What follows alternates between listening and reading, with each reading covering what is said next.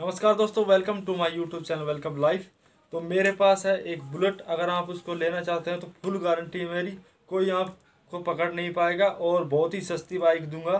तो आज की वीडियो आपके लिए बहुत इंटरेस्टिंग है। अगर वीडियो चैनल पर नए आए हो तो चैनल को सब्सक्राइब करके बाद घंटी को ज़रूर दबा देना। तो आज की इस वीडियो पर मैं बात करने वाला हूँ, जब भी आपकी बाइक चोरी होती है तो उसके बाद में क्यों नहीं मिलती? चाहे आप पुलिस में कंप्लेन करे या फिर कहीं पर भी कुछ भी कर ले, लेकिन आपकी बाइक क्यों नहीं मिल पाती और आपको ये ऑफ़र भी आते होंगे कि पाँच हज़ार में बाइक ले ले, नई बाइक ले ले या फिर कोई मुझसे बाइक ले ले, बढ़िया बाइक दे दूँगा। तो ये सब क्यों होता है? किस प्रकार से होता है? किस तरीके से ये जो है बाइक हमें तो इतना सस्ता बाइक आपको मिलता क्यों है? क्योंकि उसका कारण ये होता है कि आप ही की बाइक होती है वह चाहे आपकी मान लीजिए या किसी और की मान लीजिए, क्योंकि जो भी बाइक हम मान लीजिए नई लाए हैं और या पुरानी है, उस बाइक को कई बार क्या होता है कि उठा लिया जाता है। मेरी एक बाइक थी, जो है चोरी हो गई थी। फिर मैंने बहुत उसको ढूंढा, बहुत पुलिस में भी जो है कंप्लेंट किया, बहुत सी खोज भी की। एक या डेढ़ साल इंश्योरेंस वाले क्या है, क्योंकि इंश्योरेंस उसका मिल गया था, लेकिन बहुत टाइम बाद बहुत कुछ किया तब मिला था।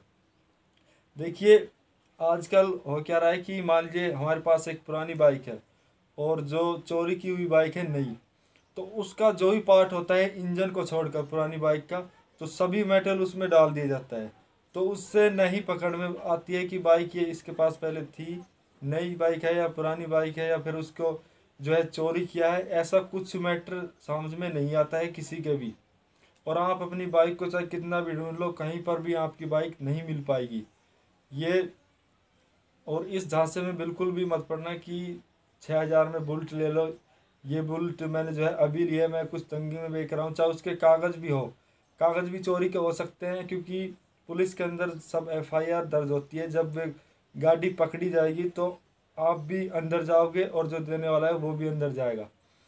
तो ऐसी गलती ज़िंदगी मत करो, चाहे लेट कोई भी बाइक ले ले, लेकिन पुरानी ले ले नहीं ले ले। लेकिन ऐसी चोरी की बाइक आपको नहीं लेनी चाहिए, नहीं चलानी चाहिए।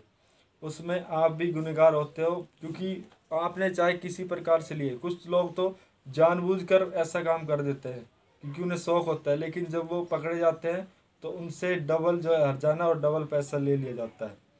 तो आज का ये वीडियो इस अहम टॉपिक पर है, क्योंकि मैंने बहुत से ऐसे केसेस देख लिए हैं अपने जीवन के अंदर तो ऐसी गलती बिल्कुल मत करना।